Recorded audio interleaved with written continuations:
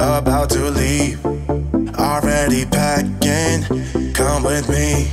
I'm not really asking. We'll get away to a place where we don't know. Today we've got something exciting going on. We want to take you along with us. Uh, we are looking at a used RV. Mm-hmm. Not just any used RV either. We actually know a bit of the history on this one. Back in 1993, we bought this trailer. It was one year old. Yeah. And our family enjoyed it for many years. This was before Courtney was born. We bought this. and she loved it. We had a great time in it, Yeah. but life goes on. Uh, we had sold the houseboat, we had bought the beaver. There wasn't really a need for two RVs, um, so we sold this one. Um, but now the beaver's stuck in the States, and due to COVID, I don't know when we're going to get back there. Yeah. Um, plus, it's been away for two years, and it's kind of nice to have something while we're here that we can get away out and once in a while. Yeah, totally. So the plan is we managed to score the keys off of the uh, current owners, and they're interested, Interested in selling it. So we're going to go take a look, just a general look today, because it's been sitting for a number of years, and we don't really know what kind of state it's in. Mm-hmm. So we're going to go check it out today. If it's in good enough state to move forward, we'll do a more in-depth uh, Mm. systems check, and we'll take you along and show you all of that information. The first step will be opening the door, and if nothing passes us on the way out, step one's done. Yeah, so this is just, um, I guess, a, real live plan because I know many people out there are wanting to get into RVs this summer, and used RVs are part of that because the whole new market is booming mm-hmm. and rentals are booming. So if looking at a used RV is for you, you might want to just follow along and see how this goes. But this we're is, excited. This is an inexpensive way of getting back into being able to do something. So That's right. we're going to give it a go. Gonna use the old truck, not going with the new one. and we'll have some fun. So come on, let's go check out this trailer. I'm Just to grab a few things we might need. I'm to get a hose, uh, electrical cords, uh, ladder so we can get on the roof, and maybe if I can find some jumper cables to check the DC system.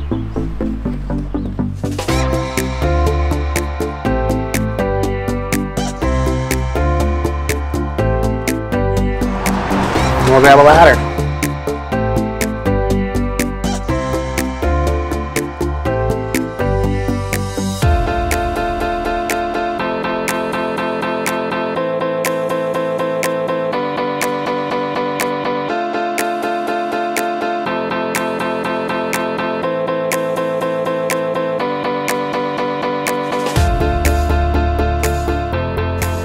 Here at the storage unit.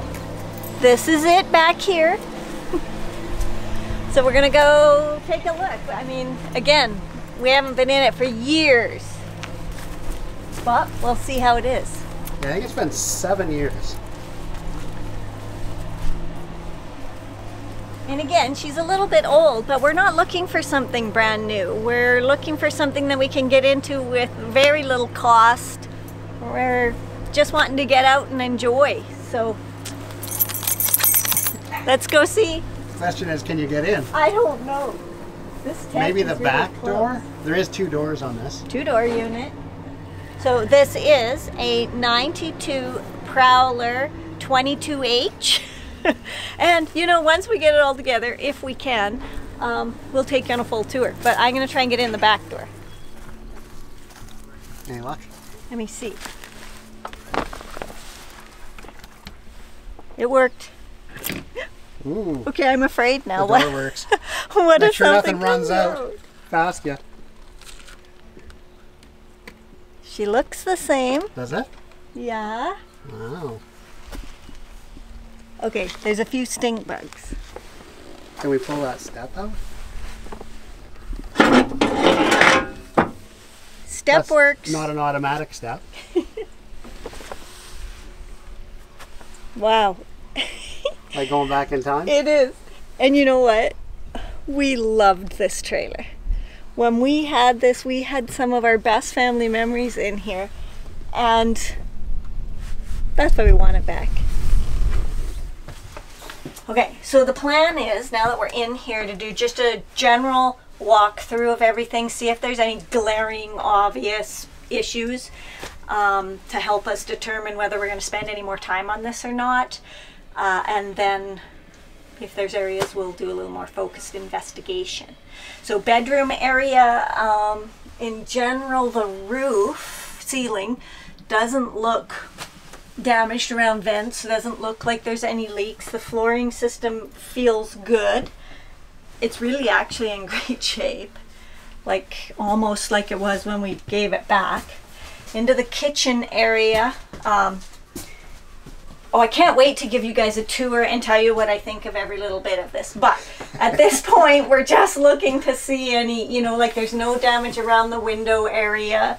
Um, then it comes into the um, there's a second door here and I'm not seeing any issues there. The floor again feels quite sturdy. This is the extra bed or dinette. Um, climbing under there, I don't see anything of concern around these windows, especially these front windows. That's an often obvious spot for damage. And again, I'm not seeing anything there around any of them or the roof. So I'm liking that. You know what else? It's not stinky. right? Like when you first walk into a used rig, especially an old one, it can hit you. If there's a smell that hits you, that means something. There's a big closet here of which we had put these shelves in. And that seems to be fine. They were seems to supposed be, to be temporary makeshift shelves because I had an office in here for a while. Oh, that's right, you did. We use our RVs for everything. Fridge, let's. This could be an issue. Oh, it's in. Not bad. This is a 28 year old trailer. Yeah. Maybe we'll see if everything works, Right. but it looks not bad. I guess the main point is when you're going to look at something used, you need to decide whether it's worth your time and energy to do a more detailed inspection of systems or pay for someone to do that. Let's take a look in the bathroom.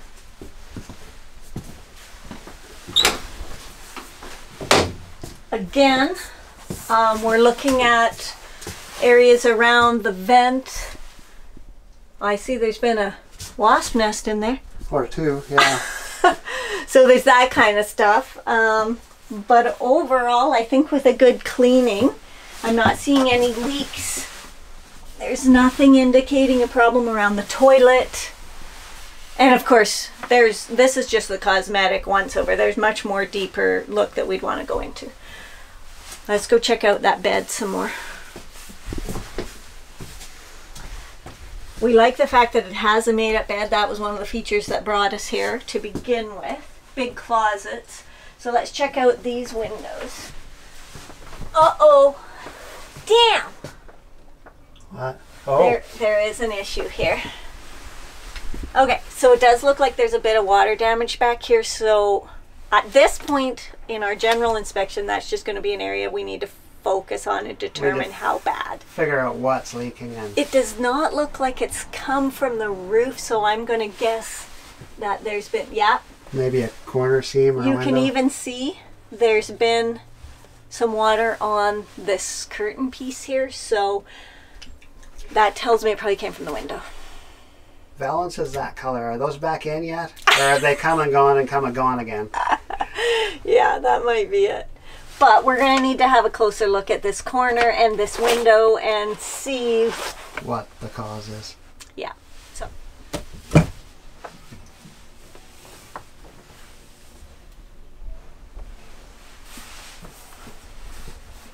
Yeah, the ceiling does look good. Um, we should take a look at the roof and Yeah. the wheels and things like that before we get invested too far with our time and figure this out.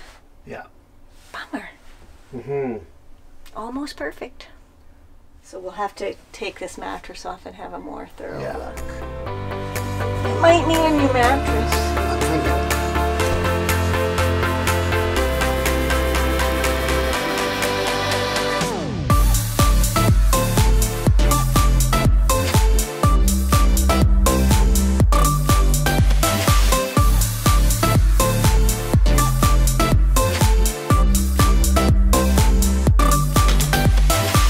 Fishing still here. Huh. Huh. so it has been leaking. And I do think it's probably from that window. Yeah, it's definitely from above, not down here. And I don't think it's from the roof. I don't think it is either. So maybe there's a corner seam on the siding or the window. I'm just gonna pull this blind up. Blinds work. Hey, I'm just gonna try opening this.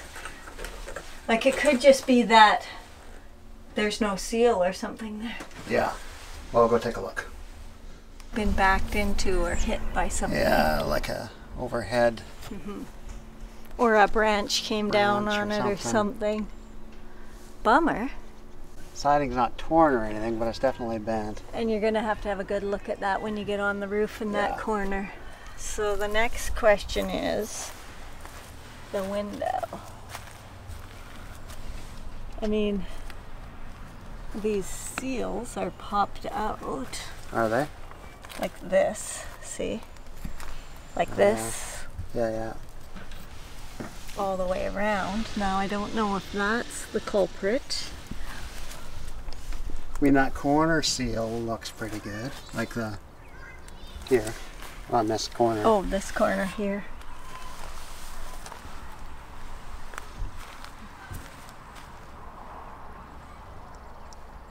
And on this side. So how is the water getting in there? Well, it's not perfect. No, it's not. No. And we've only just started. Yeah. so the big question for us is there is water getting in. Yeah. where and can we seal it up it's not damaged to the point of mold or anything it's it's actually quite fresh And I don't think it's rotten or anything. It No. certainly doesn't smell at all in there. So I think it's not even really soft to touch or anything like that so then we started looking for structural issues and we've it's definitely um, it's definitely been roughed up a little more than it was in our time. And and who knows it may have it's been sitting in the storage area. So, so when you're sitting in a storage area and there's people that don't own your trailer moving stuff around it chances are it can be getting bumped into. And that's something for you to think about in general. Uh, we certainly do when we put the beaver in storage. So that could be very well where that came from eh, but you don't think that would be causing a leak it doesn't look like it. I mean, I'll go up on a ladder and see closer, but it doesn't look like it's perforated or pulled away or anything like that. And the- it's not a hard no at that point. it could affect price. Oh, it'll definitely It'll definitely affect affect price. price. But it's not something that we're going to walk away from and move on to something else at this point. We're going to keep looking. Keep looking. Okay. Yeah. Okay, let's do that then. All right. So just check. There's the hot water tank. I see it's drained. The plug is out. Um, in order to check it, we would need to hook it back up, which we will do. Um, outdoor shower. I don't know that I can get in there Probably with those keys. with the keys. Maybe. There's our water fill. Um, tires. They look low, but they might be just sunk in the ground. These are well, yeah, they are original tires, so they're 28 years old. So we really wouldn't want to take it out on the highway without changing to new tires. And while we're doing that, I'd get them to check the brakes, um, pull the bearings, repack those because those probably haven't been done for 28 years either. Furnace, fridge. We'll pull that off if we're checking that. Another compartment. It's got the batteries are missing, um, so we would need to buy new batteries. Uh, propane tanks are probably we've not had it for seven years. They're probably either overdue or or due to be recertified or replaced. Manual jack, nothing will go wrong with that. And then yeah, it looks like the awning too might have a little tear in it, so we'll pull that out and take a closer look at it as well. But nothing that can't be fixed, nothing that I wouldn't expect on a trailer this age, and the price will reflect that. So, are you going to climb up on the roof then? Yeah, I'll go grab a ladder. There is no ladder on this unit, so I'll grab a ladder and go up and take a look. See what we see. Check out that back corner for sure where it was there was an impact. Yeah. How does it look though? It looks intact, like the corners aren't cracked. This was a one piece rubber roof. I don't know. What about around the vents? Around the vents, look sealed. Nothing's too bad. And there was no sign of water around the vents either from inside. It was just that back corner.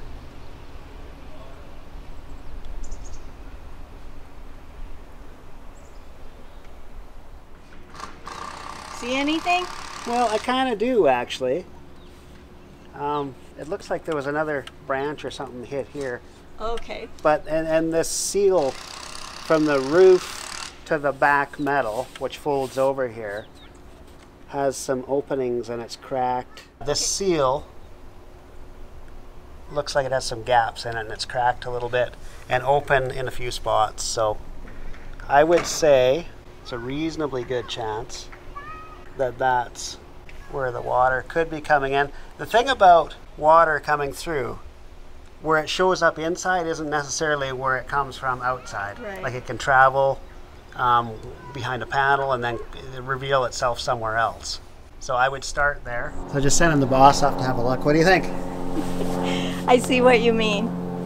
And it does look very fixable, It does.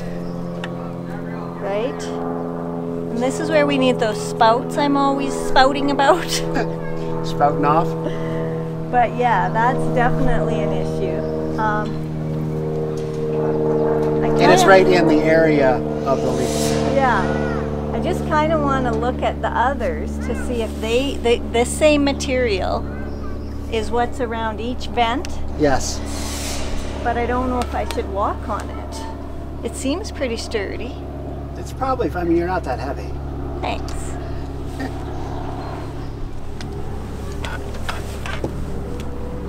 Those are a fairly easy fix though, and I don't see sign of leak inside around any of those openings. I know. But that would be a preventative thing to do for sure. Does it feel soft at all up there? Not even a bit. Really? It's super solid. Wow. All four corners have cracks in that seam. There doesn't look like there's any water damage inside except for that back corner. Is that where it's coming in? I don't know. Be a place to start. What do you see? She was a solid unit in her day. She could take a little roughing up. yeah, so this seam, about the same as the other three corners. The dent area seems to have no impact. I mean, it would be worth it to reseal these, Right. um, but no, no other impact. And yes, it looks like it's been hit up here too. There's a couple of dents. But there's no punctures. It's there's No. some dents, but no punctures, right? Yeah. Be thankful for aluminum siding. Okay, coming down. I got the ladder. Okay. Sort of. I'm kind of holding the camera too. Well, pay more attention to the ladder, please. So, what have we figured? Well, After the general once over, uh, like we said, we found that water inside, so that's a fixable. It is, yeah. Within our level Within our fixing. even our level, we could fix that. Really, the only if that one corner Yeah. wasn't got water in it, I'd be driving this thing out of here. Yeah. What do you think? All that just ballparking.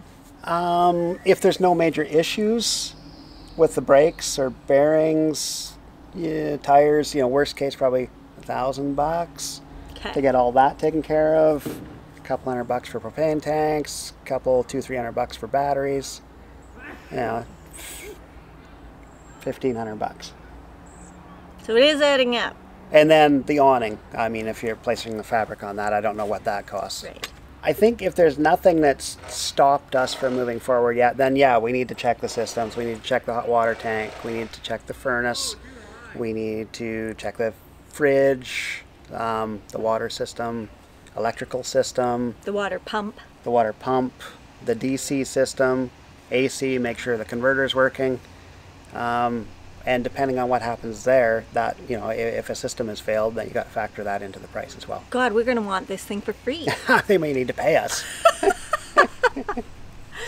the, I mean, the goal here is to get a reliable unit um, at a reasonably economic price. I mean, it is almost 30 years old, so And we're not getting a new truck, and we're not. We're just getting what So- we can in a reasonable price range to go and enjoy Yeah. until we can get back to the beaver. you betcha.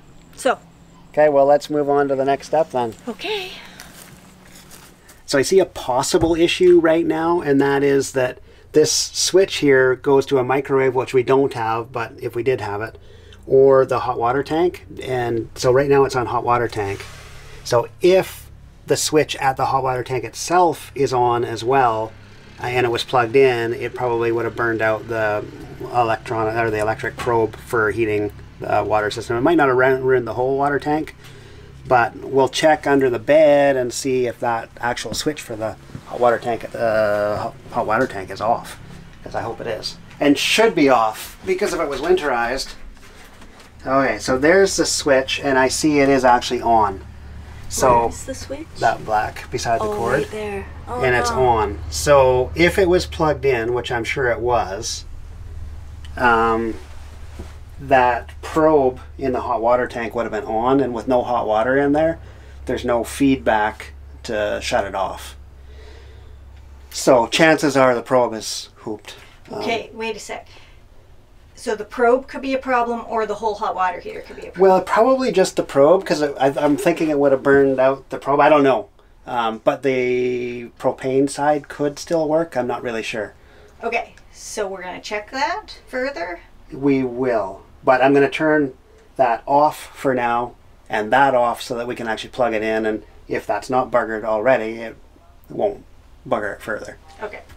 So I mentioned there's no batteries on this right now. So I need to make sure that the battery connections are not touching each other or touching the trailer hitch because it could short some, some things out. So I've just, the positive is here. I'm just going to hang it here so it's not touching anything. The negative is here. And we should be good to plug it in. And then we can see if lights work and maybe start the fridge, things like that. Okay? Okay, so we're hooked up to power. Um, 15 now? 15 amp. I'm gonna turn the fridge on just so that it can run for a while and see that it works.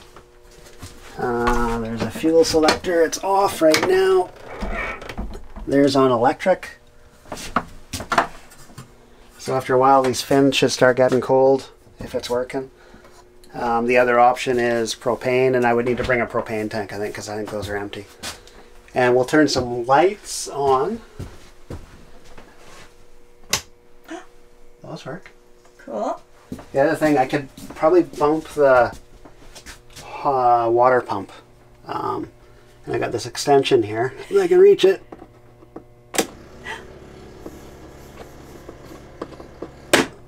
Water pump works. That's a good sign. So Denise has gone to plug into a different receptacle because we're blowing the breaker on that one. I'm not sure why. We'll try another one.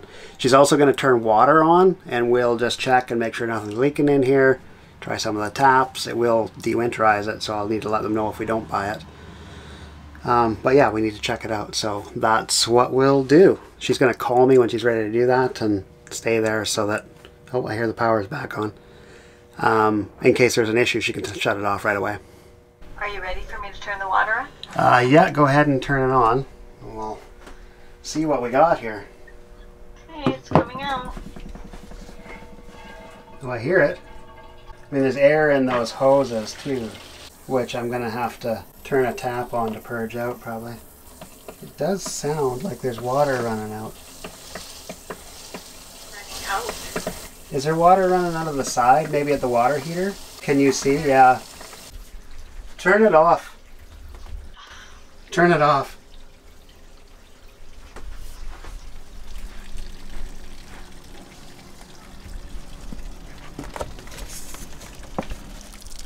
Okay. It's running out of there. But, go away, you bugger. The drain plug is out too, so I'm not surprised. But that should have been bypassed. So I will put it in bypass with some valves inside, Oh, and we'll try it again. So we had water running out of the hot water tank, but the plug is out. Normally you bypass the hot water tank, um, flood everything else, and drain the hot water tank. The hot water tank was drained. I'm just fearful that it, the rest of it wasn't winterized. So we bypassed that. Shouldn't come out of there anymore. We'll turn it back on and see if everything else is still sound. And hopefully it is. Okay, try it again. Stop. Turn it off. We got issues right there. So I've just disconnected the water heater and we've closed the valve to the water heater on the other side. So by isolating that, I'm hoping we've isolated the leak and we can try again. Okay, turn her on, lady. And see if we have a leak somewhere else. Just turn it on and then get ready to turn it off, but not full, like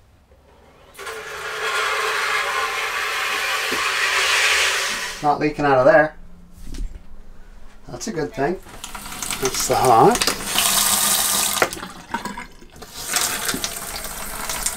Cool.